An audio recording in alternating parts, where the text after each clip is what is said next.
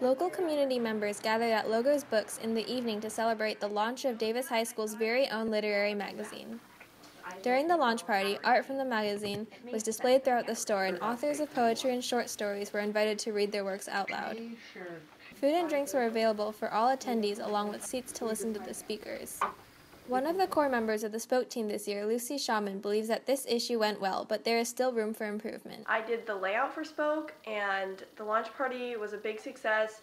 We had all of the people who submitted um, stories read them, and I think um, the public really enjoyed that. And um, looking towards the next issue, I think we really want to improve our communication because we had a little bit of some issues going with the printing with this issue. It all turned out fine, but we'd really like to improve our communication as a team. And we're just working towards um, being more cohesive as a team as well. Photo editor Jason Jiang is pleased that all the work that was put into it paid off. Um, I think the magazine turned out really well. It looks really clean, um, but there were a few flaws in the magazine, but overall it looks really good and I'm really happy about it. For BlueDevilHub.com, this is Anna Gao.